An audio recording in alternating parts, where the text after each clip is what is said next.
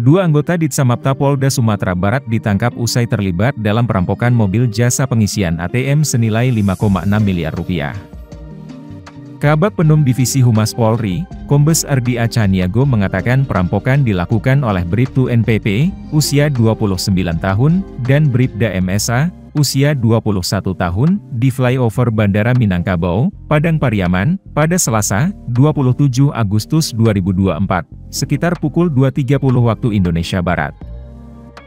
Saat beraksi, kedua anggota polisi tersebut turut dibantu oleh pelaku lainnya yang merupakan warga sipil berinisial HS, usia 38 tahun.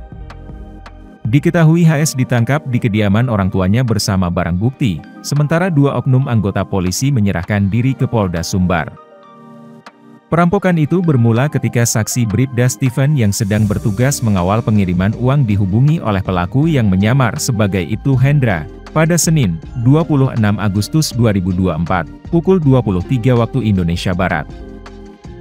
Bribda Stephen pun menepikan mobil Grand Mas yang sedang membawa uang sebesar 5,6 miliar rupiah itu di Jalan Raya Bypass Padang Pariaman dekat PT Jaya Sentrikon, pada Selasa, 27 Agustus 2024, pukul 1 waktu Indonesia Barat.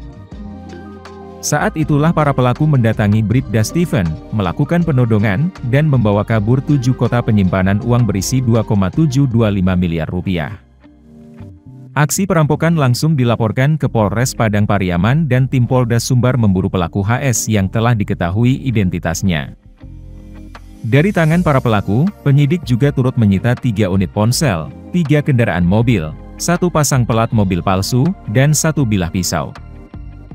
Menurut Erdi, para pelaku nekat merampok mobil pengiriman uang ATM lantaran sedang terlilit utang yang cukup besar.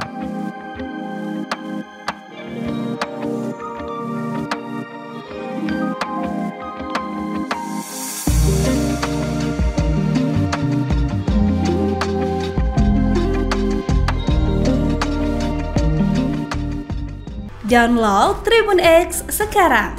Menghadirkan lokal menjadi Indonesia.